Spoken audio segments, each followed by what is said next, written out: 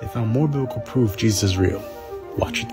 In 1961 in Caesarea, Israel, they found this stone in Latin with the inscription written Pontius Pilatus, prefect of Judea.